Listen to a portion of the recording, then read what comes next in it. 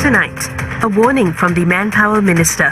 Companies who disguise retrenchments to avoid paying out benefits might get subsidies revoked. Eligible locals who receive remaining budget payouts of up to $1,000 in two weeks.